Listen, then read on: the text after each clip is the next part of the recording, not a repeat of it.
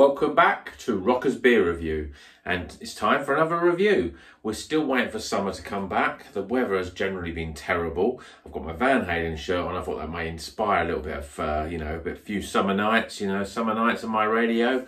You know, does this feel like summer or what? It doesn't. But anyway, today we're going to be trying this from Pressure Drop. It's uh, a brewery that I've not tried before, but I've seen um, seen them online a few times and I decided to buy a couple of those uh, on this latest um, on the July haul. Um, this one says that it tastes like summer, so maybe we'll get some inspiration. We'll get we'll drink this. The sun will come out and we can enjoy more beers in the garden. Okay, so what is this? So this is called Golden State. It's a New England Pale coming in at 5.2% ABV. Um, let's see what the sort of hops it's got. Amarillo uh, bbc uh, and amarillo Cryo. i'm not quite sure what the difference between those are. Crack open a cold one sit back and enjoy. We're bringing citrus to the show. So i think it's very citrusy orangey um, but let's get it into a glass and see what it looks like shall we?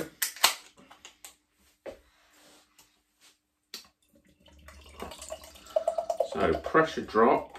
I think they're based in north london Tottenham Hale. Don't hold that against them. Um, there we go. Look at that. We've got a one and a half, just under two finger, very fluffy, uh, soapy-like head. Um, very yellow, pale and hazy, uh, just like a good beer should be. Um, let's get some aroma, shall we? Yeah, very citrusy, oranges, lemons, quite subtle though you know. It, it's it's got a fruity sort of smell but it's not like some of those sort of big sort of juice bomb type of uh, tropical smells.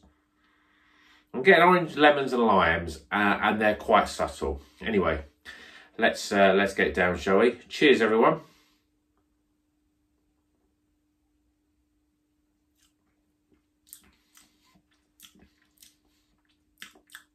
It's quite unusual that.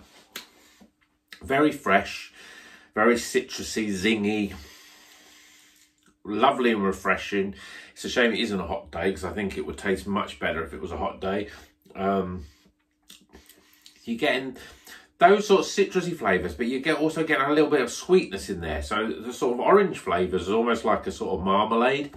Um, you've got a very slight, slight, subtle hint of grapefruit. Yeah, a little bit of grapefruit, a little bit of orange peel, giving that little bit of sharpness. Quite dry, but really nice in a, in a you know, a dry in a nice way. Get those flavours there. It's fair, you know, medium carbonation and sort of medium to to to light on the um, in terms of the the the, the um, volume and the balance of the of the beer. Um, I wouldn't say it was overly soft on, on the palate.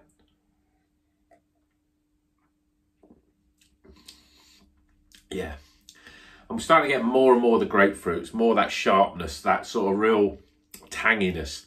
As I say, more like the orangey, marmalade sort of orange peel, maybe even blood orange, pink grapefruits. That's the sort of flavours. Very nice and refreshing. Very sort of fruity. Yeah, nice drink. Um, still not getting massives of aroma, but you know, if you want a summer crisp drink, this is a good one to have. So let's get the scores in, shall we?